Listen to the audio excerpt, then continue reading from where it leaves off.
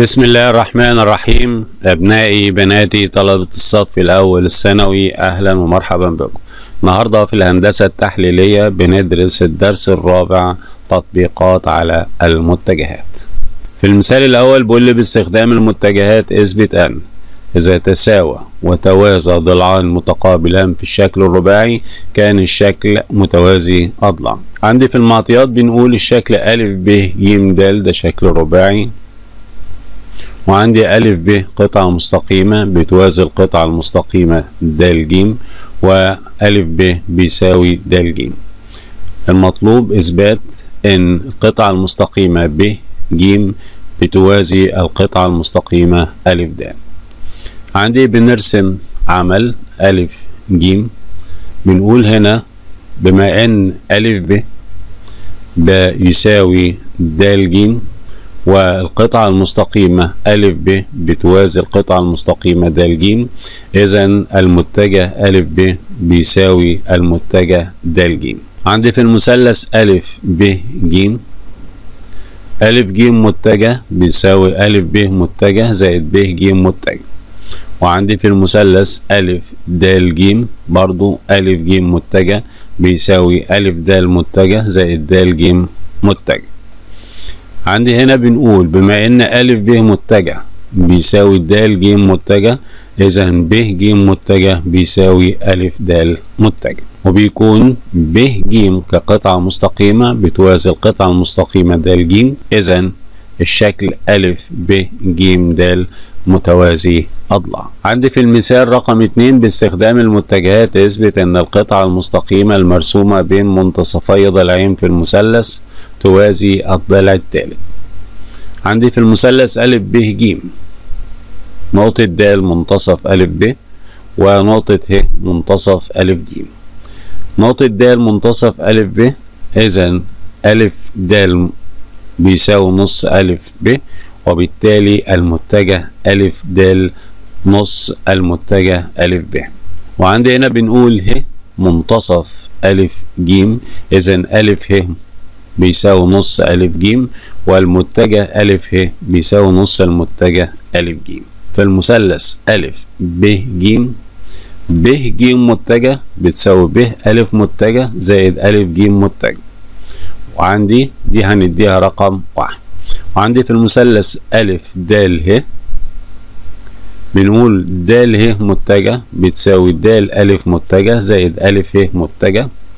هنشيل د ألف ونحط نص ألف ب. وهنشيل ألف ه ونحط نص ألف ج.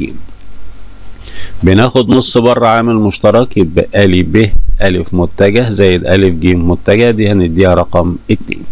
من واحد واتنين بينتج إن د ه متجه د ه متجه نص ب ج متجه. إذا د ه قطعة مستقيمة بتوازي القطعة المستقيمة ب ج وهو المطلوب. بنلاحظ هنا إن د ه بيوازي ب ج وقلنا إن د ه نص ب ج إذا معيار المتجه د ه بيساوي نص المتجه ب ج وبيكون المت... بيكون القطعة المستقيمة د ه بتساوي نص ب ج وثبتنا الجزء الثاني من النظرية. في المثال الثالث بيقول لي باستخدام المتجهات اثبت أن قطري متوازي الأضلاع ينصف كل منهم الآخر. عندي بالعمل والبرهان بنفترض إن م نص ب د إذا المتجه ب م بيساوي المتجه م د بنرسم المتجهين أ م وم ج فبيكون في المثلث. أ ب م أ م متجه بيساوي أ ب متجه زائد ب م متجه. وفي المثلث ج د م ج د م المتجه م ج بيساوي م د متجه زائد د ج متجه. عندي بما إن ب م متجه ب م متجه بيساوي م د متجه ده أصلا من العمل اللي إحنا عاملينه. اذا وألف ب متجه بيساوي د ج متجه ده من متوازي الأضلاع. اذا ألف م متجه بيساوي م ج متجه. وحيث أن ألف ميم متجه وميم جيم متجه لهم نفس الاتجاه ومشتركين في النقطة ميم. إذا كل منهم يقع على المستقيم ألف ميم جيم. يبقى النقط ألف وميم وجيم تقع على استقامة واحد. بما إن معيار المتجه ألف ميم بيساوي معيار المتجه ميم جيم إذا منتصف إذا ميم منتصف القطعة المستقيمة ألف جيم وميم نص القطعة المستقيمة ب د إذا القطرين ألف جيم وب جيم ينصف كل منهم الآخر. في المثال الرابع بقول باستخدام المتجهات اثبت أن النقط ألف وب وجيم هي رؤوس مثلث قائم الزاوية في ب عندي ألف ب بيساوي ب متجه. ألف ب متجه بيساوي ب متجه ناقص ألف متجه.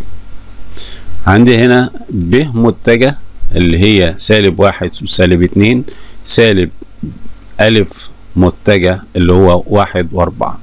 سالب واحد سالب واحد يبقى سالب اتنين سالب اتنين وسالب أربعة تبقى سالب ست.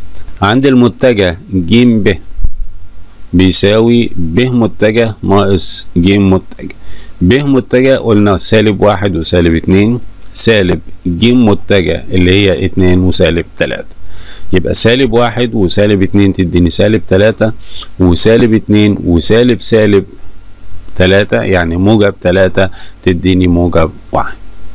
عندي هنا بما إن لو إحنا ضربنا سالب اتنين في سالب تلاتة تديني موجب ستة. وعندي سالب ستة لو ضربناها في موجب واحد تديني سالب ستة. يبقى موجب ستة وسالب ستة تديني صفر. إذا المتجه ألف ب عمودي على المتجه ج ب وقياس الزاوية ب تساوي 90 درجة. إذا المثلث ألف ب ج قائم الزاوية في ب عندي في المحصلة بنقول بتخضع القوى المؤثرة على جسم لعملية جمع المتجهات بمعنى هنا لو أنا عندي ده جسم وشدته قوة متجه قاف واحد ونفترض إنها بتساوي ستة في اتجاه ي عندي الاتجاه ده هنفترض إن هو ده الاتجاه الموجب ونقول ده اتجاه ي. وعندي القوة التانية قاف اتنين تلاتة في اتجاه ي. بنقول هنا لما بنيجي نجيب المحصلة بنجمع القوتين يبقى ستة في اتجاه ي وتلاتة في المتجه ي يبقوا تسعة في اتجاه المتجه ي. أي إن المحصلة قاف تساوي تسعة نيوتن وهي بتعمل في اتجاه الشرق. عندي لإيجاد قوة محصلة مؤثرة على الكتاب عندي ده الكتاب بتأثر عليه قوتين والقوتين متضادتين. بمعنى إن نفترض إن إحنا الاتجاه ده على الشرق هنتخذه ي متجه ونعمله موجب. القوة هنا متجه القوة واحد بيساوي خمسة. وعندي فيه بيقابل الجسم احتكاك الجهة الأخرى فبنديله بسالب تلاتة. لما بنيجي نجمع القوتين يبقى خمسة موجب وسالب تلاتة تديني موجب اتنين. إذا المحصلة بتساوي اتنين. بنخلي بالنا هنا أن القوة المحصلة في حالة إذا كانوا الاتنين في اتجاه واحد بنجمعهم وفي اتجاهين متضادين بنطرحهم من بعض. في المثال رقم ثلاثة بقول لي إذا أثرت القوة عندي دي قاف واحد دي قاف اتنين دي قاف تلاتة في نقطة مادية احسب مقدار واتجاه محصلة هذه القوة مقاسة بالنيوتن. عندي محصلة القوة بنجمع الثلاث قوة مع بعض بنجمع الإحداث السيني مع الإحداث السيني مع الإحداث السيني. عندي هنا اتنين وهنا واحد يبقى تلاتة وهنا واحد يبقى أربعة. يبقى عندي أربعة في اتجاه السين بالنسبة للصاد عندي ده واحد وسبعة يبقى تمانية ناقص خمسة تديني تلاتة. يبقى أنا عندي المحصلة قاف بتساوي أربعة في الاتجاه السين زائد تلاتة في الاتجاه الصاد عند المحصلة أو معيار القوة بيساوي عندي مربع مقدار المحصلة متجه قاف أو معيار قاف بيساوي أربعة تربيع بستاشر زائد تلاتة تربيع بتسعة. ستاشر وتسعة خمسة وعشرين تحت الجذر تديني خمسة نيوتن. يبقى أنا عندي هنا المحصلة خمسة نيوتن. طب واتجاه المحصلة بنقسم الصاد على السين بيديني ظا الزاوية بالآلة الحاسبة بنجيب هنا بنقول شيفت وتن وعندي هنا بنعمل الكسر بتاعنا التلاتة على الأربعة.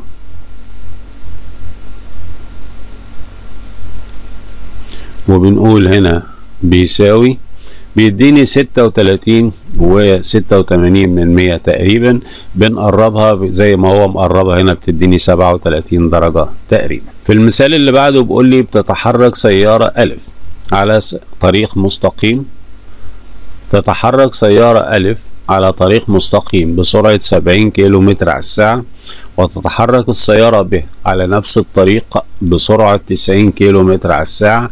يوجد سرعة السيارة ألف بالنسبة للسيارة ب عندما في الحالة الأولى تتحرك السيارتان في اتجاه واحد اتنين تتحرك السيارتان في اتجاهين متضادين. عندي هنا باعتبار ان هي متجه واحدة في نفس اتجاه السرعة ألف ده ألف ويبقى الاتجاه هناخد هناخد الغرب هنا الاتجاه الموجب السيارتين تتحركان في اتجاه واحد يبقى في اللحظة ديت عين ألف بتساوي سبعين في اتجاه ي ومتجه سرعة ب بيساوي تسعين في الاتجاه ي. عندي سرعة ألف بالنسبة لب بتساوي سرعة أو متجه سرعة ألف ناقص متجه سرعة ب. متجه سرعة ألف إحنا عندنا سبعين في اتجاه ي. وعندي ناقص عين في اتجاه ي يبقى هنا الفرق بين الاتنين تديني عشرين في اتجاه ي.